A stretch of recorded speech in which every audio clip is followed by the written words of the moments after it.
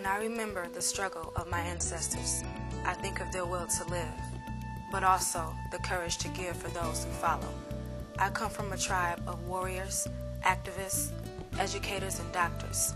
Someday I would like to continue their legacy. I would like to break grounds on new frontiers.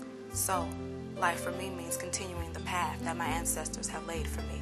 That's why I stay alive. Are you ready to continue their legacy?